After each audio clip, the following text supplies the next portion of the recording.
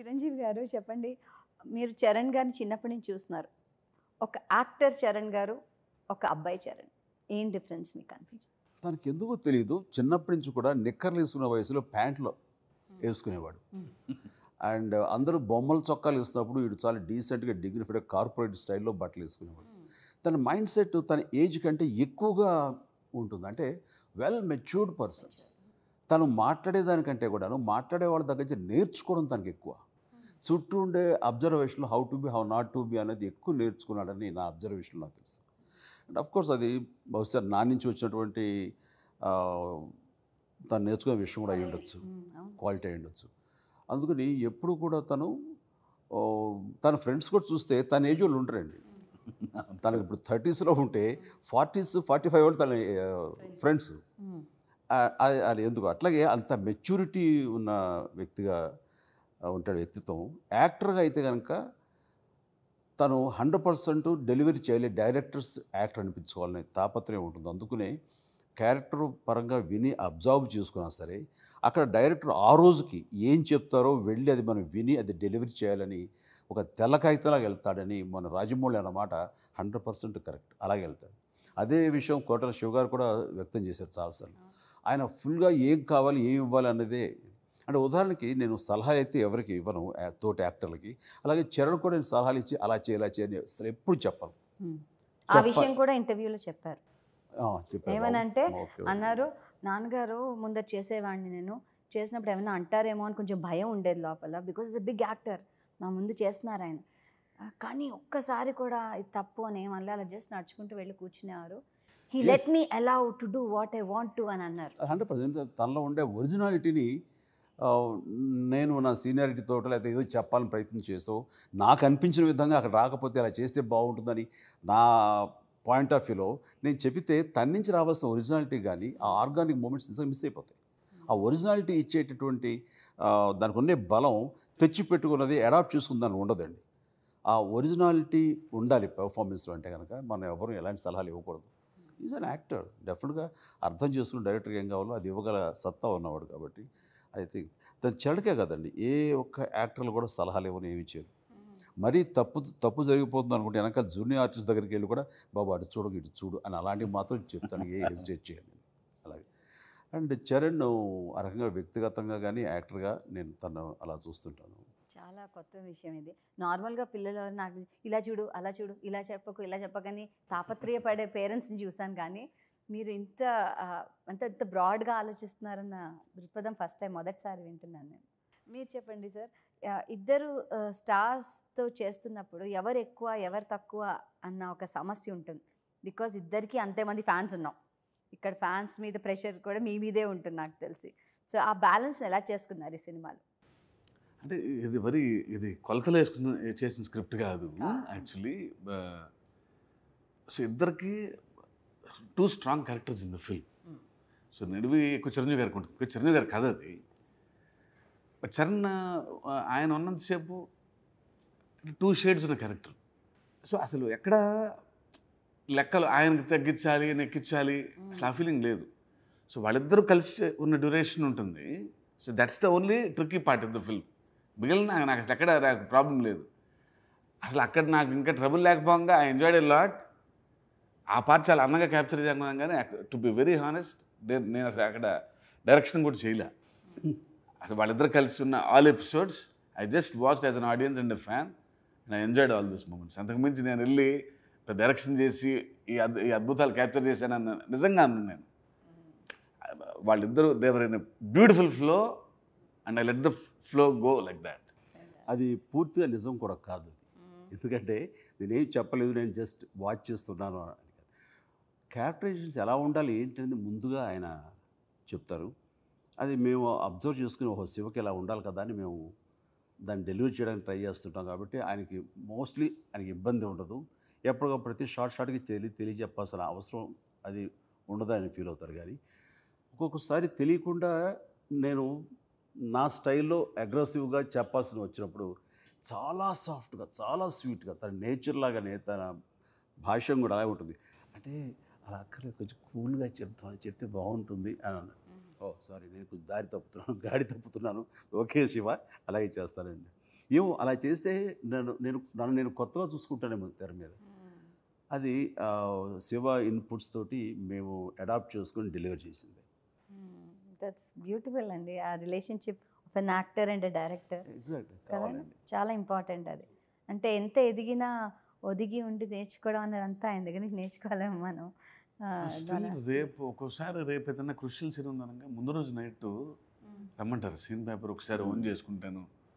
I rehearse it still నేను ఒకసారి అసలు వచ్చినప్పుడు ఓపిక కూర్చొని సీన్ "అమ్మ, రేపు అనుకుందామా? అని అంటే అంటే మేము మాకుంటుందా అప్పటికి? మేము పది పదిహేను సినిమాలు చేసిన తర్వాతే ఎక్కడో అప్పుడప్పుడు చిన్న మెకానికల్గా అవుతుంటాము. స్టిల్ నేను మొన్న నేను బాబీని కూడా ఎంక్వైరీ చేశా. ఏంటంటే లేదు లేదంటే షెడ్యూల్కి ముందు ముందు వెళ్ళి ఒకసారి సీన్స్ సార్తో డిస్కస్ చేస్తున్నాను. So is that. ఆయనకి సినిమా సినిమా అంటే బోర్ కొట్టదు ఆ ప్యాషన్ పోదు. The same homework. ఆబ్వియస్లీ సినిమాలు అలాగే ఉంటాయి ఆయన మహేష్ గారు ఉంటాయి రేపు ఏం చేయబోతున్నావు అన్నది ముందు రోజు తెలుసుకుంటే కానీ నేను స్థిమితంగా నిద్రపోలేను. ఏదో ఒక- రెస్ట్లెస్గా ఉంటుంది. రేపు కరెక్ట్గా నేను వాళ్ళు అనుకున్న ప్రకారం చేయగలనా లేదా?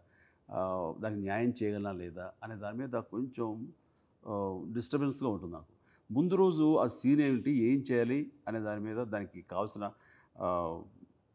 డ్రెస్ కానివ్వండి మేకప్ కానివ్వండి ఆ డైలాగ్స్ కానీ ఇవన్నీ ముందుగా చూసుకునే వరకు స్థిమితంగా ఉంటుంది నాకు. కూల్గా ఉంటుంది షూటింగ్ వెళ్ళినా ప్రశాంతంగా ఉంటుంది. అండ్ నైట్ అంతా కేర్లెస్గా మనం పట్టించుకోకుండా ఉండి తెల్లారి షూటింగ్ వెళ్ళేసరికి అక్కడ ఏదో సీన్ అంటే కొంచెం తడబాటుగా ఏదో కంగారు కంగారుగా అలా ఉంటుంది. అది నాకు ఇష్టం ఉండదు. అండ్ ఆల్వేస్ ముందుగా తెలుసుకోవడం అనేది మంచి లక్షణం అని అనుకుంటున్నాను. నన్ను అయితే కంఫర్టబుల్గా కూల్గా చాలా మంచి విషయాలు నేర్చుకున్నాం అండి మీతో. అండ్ మీరు చూస్తున్నారు ఒక చిరుత నుంచి సిద్ధ వరకు. చరణ్ గారిలో మీరు చూసిన చేంజ్ ఒక యాక్టర్లో. ముందు నుంచి కూడా నాకు ఎప్పుడు చరణ్లో ఇది తప్పు ఇలా కాదు అని నాకు ఇప్పుడు అనిపించలేదు. మేబీ నా బిడ్డ అనే ఒక ప్రేమ షుగర్ కోటెడ్గా ఉంటుందో ఏమో తెలియదు కానీ బట్ బయట వాళ్ళు ఏమనుకుంటున్నారని తెలుసుకోవడానికి ప్రయత్నం చేసినప్పుడు నాకు కూడా ఏం అనిపించాలి. డే వన్ నుంచి కూడా తను బాగానే పర్ఫామ్ చేస్తున్నాడని ఉంటుంది. బట్ ఇనీషియల్గా టూ మచ్ ఆఫ్ పెర్ఫెక్షన్ తోటి కనుక ఒక కొత్త వాడు వస్తే అది మనకు ఓవర్ స్వీట్గా ఉంటుందండి. నేను నమ్మింది ఏంటంటే కొంచెం ఆ ఎమెచ్యూరిటీ అది తెలిసి తెలియంది. అబ్బా కొంచెం ఇలా చేసాడే ఇలా చేస్తే బాగున్నాయి అని అనిపించుకోవడం ఎప్పుడు అడ్వాంటేజ్ ఎప్పుడు అది చాలా బాగుంటుంది. టూ మచ్ పర్ఫెక్ట్గా కనుక ఫస్ట్ ఫిల్మ్స్ ఉంటే అది ఒకసారి ఒకటి రెండు సినిమాల తర్వాత ఓవర్ స్వీట్గా అనిపిస్తుంది. అలా కాకుండా డెవలప్ అవుతూ ఉంటే కనుక అది ఎప్పుడు మంచి హెల్దీ కైండ్ ఆఫ్ డెవలప్మెంట్ అది. అది ఆస్వాదిస్తారు ఆమోదిస్తారు వెల్కమ్ చేస్తారు. అలాగా ఎవాల్వ్ అవుతూ వచ్చాడు. ఐ థింక్ ఈరోజు చరణ్ ఏమిటనేది చూస్తే ఫస్ట్ సినిమాకి ఈ సినిమాకి చాలా బాగా డెవలప్ అవుతుంది. చెప్పండి సార్. ఈ సినిమాకి ఇద్దరు స్టార్స్ని పెట్టుకుని తీయాలంటే దానికి సాంకేతిక నిపుణులు కూడా అంతే పర్ఫెక్ట్నిస్ట్ అయి ఉండాలి. సో టెక్నీషియన్స్ గురించి చెప్పండి. మన కెమెరామెన్ గారి గురించి director of photography so first కథ అనుకున్నప్పుడు ఒక very fictional temple town temple town అనుకున్నాం బ్యాక్ డ్రాప్ అది. సో దానికోసం uh, వెళ్ళి కొంత రెక్కీలు చేసాం Suresh art director me and Thiru గారు. సో అంత ఆర్గానిక్గా అంటే ఒక ఊరు వెళ్తే ఒక బ్లాక్ దొరుకుతుంది ఇంకో టెంపుల్ టౌన్కి వెళ్తే అక్కడ దొరుకుతుంది. సో షూటింగ్ కష్టం. నేను టెంపుల్ టౌన్స్ తిరిగి అక్కడ ఒక బ్లాక్ అక్కడ ఒక బ్లాక్ తీయటం. సో తర్వాత ఇంకా అది సెట్ వేద్దాము అనుకుని సో ప్రొడ్యూసర్ డిస్కస్ చేసి so will go ahead with the set అనుకున్నాం. అంటే సెట్ అనుకుంటాం కూడా ప్రాపర్ టెంపుల్ టౌనే కానీ చిన్న సరియల్ ఫీలింగ్ రావాలి అని ఫస్ట్ నుంచి ఎక్కడో నాకు స్ట్రాంగ్ ఫీలింగ్ ఎందుకంటే వచ్చిన బ్యాక్ స్టోరీ ఉంది. ఒక మిస్టేక్ ఎలిమెంట్ ఉంటుంది కథలో. చిన్న అమ్మవారు కదా చిన్న సరియల్ ఫీలింగ్ కూడా ఉండాలి. మరీ ఒరిజినాలిటీ కాకుండా ఒక అది- అది ఎక్కడుంది అనే ఫీలింగ్ ఉంటుంది మనకు రేపొద్దున చుట్టూ మౌంటైన్స్ ఒక రివర్ ఫ్లో అవుతా పైన గుట్ట మీద పెద్ద గుడి ఏన్షియన్ టెంపుల్ సర్రియల్ ఫీలింగ్ రావాలన్నప్పుడు తెరువు చేసిన ఎక్సర్సైజ్ రియలీ ఎక్స్ట్రాడినరీ అవుట్పుట్ అండి ఆయనది. The colours he chose. And coming to Suresh. అంటే లక్కీగా తను he's born and brought up in temple town call Chidambaram. ముప్పై ఏళ్ళు సో తనకి తన బాడీలో అంగుళం టెంపుల్ ఉంది. టెంపుల్ టౌన్లో ప్రతి అంగుళం తెలుసు ఆయనకి.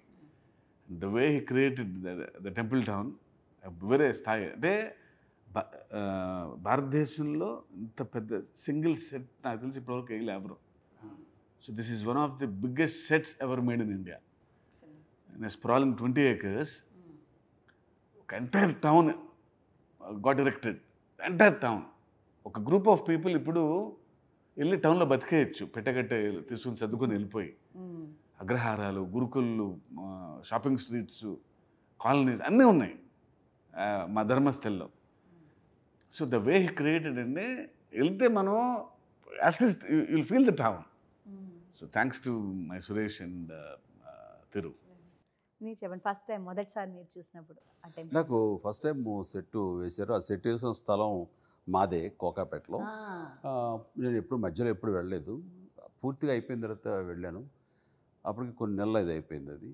ఇంకా షూటింగ్ స్టార్ట్ అవ్వబోయే ముందు చూద్దాం చాలా బాగా చెప్పుకుంటున్నారు వీళ్ళందరూ చెప్పి వెళ్ళినప్పుడు. నాకు టేకిన్ ఏ బ్యాక్ ఏంటి ఇంత బాగా అద్భుతంగా ఉంది అని చెప్పేసి. అండ్ ఎస్పెషల్లీ ఆ ఆర్ట్ డైరెక్టర్ సురేష్ చాలా మంచి పనితనం కనపరిచాడు. దానికి ఉదాహరణ ఏంటంటే ఇద్దరం కూర్చున్నాం అక్కడ చూస్తుంటే టీ తాగుతూ చూస్తుంటే ఆ గాలిగోపురం పైన ఒక తేనె తుట్టు కనిపించింది. అబ్బా ఈలోగా అప్పుడే తేనె పెట్టేస్తుంది ఇంత పెద్ద తేనె అయిపోయింది. ఏమంటే అది తీయచ్చు కదా అన్నారు. అయ్యో కాదు కాదు. అది ఆర్ట్ డైరెక్టరు కావాలని పెట్టిన ఆర్టిఫిషియల్ తేనె అది అని చెప్పి నేను ఆ షాక్లో ఉండిపోయాను. అవునండి అంత న్యాచురల్గా చేశాడు అంత బాగుంది. మనం చూస్తే కనుక మనుషులు రీచ్ కానిటువంటి అలాంటి మారుమూల గాలిగోపురాల్లో ఇలాంటి తేనె మనం చూస్తూ ఉంటాం. అది కూడా దృష్టిలో పెట్టుకున్నాడంటే కనుక అతను టెంపుల్ టౌన్ చిదంబరం నుంచి వచ్చాడు కాబట్టి తమిళనాడు. అతను అంత ఆథెంటిక్గా ఇది చేయగలిగాడు. ఈ సినిమాకి ఆర్ట్ డైరెక్టర్గా సురేష్ హండ్రెడ్ పర్సెంట్ పర్ఫెక్ట్ న్యాయం చేశాడు. అది మన సినిమాలో చూస్తాం అది. అది రియల్గా ఎక్కడికో వెళ్ళి తీసామంటారు తప్ప అది సెట్ అని ఎవరు అనుకోరు అండ్ దాన్ని రాబట్టంలో తిరు అద్భుతమైన కెమెరామెన్ తన పనితనం తను చూపించాడు. సో తన ఏదైతే ఒక మిస్టికల్గా ఉండాలి నాకు నా కథలో ఒక దైవత్వం ఉంటుంది అది అలో సుస్పష్టంగా కనిపించాలి ఏదైతే శివ అనుకున్నారో అది వీళ్ళిద్దరి సహకారంతో మొత్తం తను అనుకున్నది అక్కడ మనం చూడగలం. అండ్ అంత బాగా నచ్చింది కాబట్టి నేను జనరల్గా ఏ టెక్నీషియన్స్ని ఎవరికి ఏ సినిమా రికమెండ్ చేయను. ఎందుకంటే ప్రతి వాళ్ళకి వాళ్ళ వాళ్ళ టెక్నీషియన్స్ ఉంటారు కాబట్టి అది. అండ్ సురేష్ని గాడ్ ఫాదర్కి నేను వెంటనే చెప్పాను మోహన్ రాజా ఈ అబ్బాయిని తీసుకొని చాలా బాగా చేస్తాడని చెప్పేసరి అందరు సావు నా ఇంప్రెషన్ తన మీద. ఒక రామోజీ ఫిల్మ్ సిటీ లాగా ఇది కూడా ధర్మస్థలి ఒక విజిట్ ప్లేస్ చేసేయండి సార్ మేమందరం వెళ్ళి చూసి వస్తాం దాన్ని. ఎప్పుడెప్పుడు చూద్దామా అని ఆతృతగా ఎదురు చేస్తున్నాం మ్యామ్ ఈ సినిమా తర్వాత ఐ థింక్ ఆ అవకాశం ఉంటుంది. మాకు? నాకు ట్రైలర్ చూసే చాలా మంది. సార్ ఒక్కసారి వెళ్ళి రౌండ్ వేసి వస్తాం. ఇంక్లూడింగ్ మా జర్నలిస్ట్ ఫ్రెండ్స్ కూడా. సార్ ఊరికే ఒకసారి లోపలికి వెళ్ళొస్తామంటే "లేదు, లేదు will go for a tour very soon అని చెప్పి చెప్పాను నేను. వెయిట్ చేస్తున్నాం మమ్మల్ని పిలవండి. Yeah, తప్పకుండా. బాగుంటుంది. ఓకే. ఈ సినిమాకి మహేష్ బాబు గారు ఇచ్చిన వాయిస్ ఇటీవలే విడుదలైన చాలా మంచి అట్మాస్ఫియర్ అనిపిస్తుందండి తెలుగు సినిమాకి ఇప్పుడు.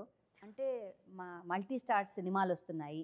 ఒక్క స్టార్ ఇంకో స్టార్ని సినిమాలో చేయడం ఇంకో స్టార్ ఇంకో స్టార్ సినిమాని మెచ్చుకోవడం కానీ లేకపోతే నిజంగా నిజంగా ఏమున్నాయని జరగ జరిగినవన్నీ చెప్పడం కానీ చాలా మంచి పాజిటివ్ ఎన్వైర్న్మెంట్ కనిపిస్తుంది తెలుగు ఇండస్ట్రీలో. పాన్ ఇండియా సినిమాలు రావడం. ఇంత మంచి అంటే ఒక్కసారిగా మనం golden era of Telugu cinema celebration time వచ్చిందని మాకు మళ్ళీ అనిపిస్తుంది. ఈ ఈ తరాన్ని వాళ్ళకందరికీ. సో మహేష్ బాబు గారు చెప్పడం ఈ సినిమాకి ఎలా జరిగింది? అది ఎవరి ప్రయత్నం? అది శివగారిదే? ఆయనే చెప్పాలి. అంటే నేను first the first two minutes so there is a back story for the temple town ఆ కథ చెప్తూ ఆ వరల్డ్లోకి తీసుకెళ్ళాలి. సో డెఫినెట్లీ ఒక నోన్ వాయిస్ ఒక అంటే స్టేచర్ ఉన్న పర్సనాలిటీ చెప్తేనే ఆ కథలోకి వెళ్తామని ఫస్ట్ నుంచి అనుకున్నాను నేను. సో ఊరికే నేను చిన్న మహేష్ గారిని సార్ ఇట్లా ఆచార్యకి అంటే మా చిరంజీవి గారి సినిమా అండి. Because the way he reciprocates ఎందుకంటే ఆయనకి సర్లేరు నీకు ఎవరు ఆడియో ఫంక్షన్ అప్పుడు ఊరికే సార్ని ఇన్వైట్ చేయాలని ఐ థింక్ మహేష్ గారు నేను వచ్చి పర్సన్ దానికి ఎందుకు కలవటం? ఫంక్షనే కదా ఫంక్షన్ టైంలోనే వచ్చేస్తున్నాను అన్నారు. చాలు ఒక మెసేజ్ చాలు దానికి వచ్చి. Personal పిలవాలా? Mahesh don't be formal please మీ పిలిచే చాట్ అలా మర్యాద కాదని నేను నమ్రత వస్తాను. ప్లీజ్ అస్సలు రావద్దు. Hmm. మామూలుగా మరో విధంగా నా గెస్ట్లుగా రండి తప్ప ఇన్విటేషన్ ఇన్వైట్ చేయడం అవసరం రావద్దని అని చెప్పేసి అన్నాను. ఇది వచ్చి పిలిచేదే ఉందండి వాళ్ళు. మన ప్రమేయం వాళ్ళు కోరుకుంటున్నప్పుడు వెళ్ళటం అనేది బాధ్యతగా మనం ఫీల్ అవ్వాలి. అది సంతోషించదగ్గ పరిణామం. అట్లాగే ఈ సినిమాలో కూడా ఆయన అడిగి అడగగానే అంతగా రెసిప్రొకేట్ అవుతూ మహేష్ బాబు చేయటం అనేది ఇందా మీరు అన్నట్లుగా ఒక ఆరోగ్యకరమైన వాతావరణం ప్రివేల్ చేయడానికి ఇండస్ట్రీలో మనందరం ఒకటి అని అనిపించుకునేలాగా ఇచ్చిపుచ్చుకోవడం అనేది ఎప్పుడు చాలా అందంగా ఉంటుంది ఆస్వాదించే విధంగా ఉంటుంది. నేను అట్లాగే ఇస్తాను వెళ్తుంటాను చేస్తుంటాను. అలాగే వాళ్ళు నాకు అంత రెస్పెక్ట్ అంత ఇది వాళ్ళు ఇస్తుంటారు.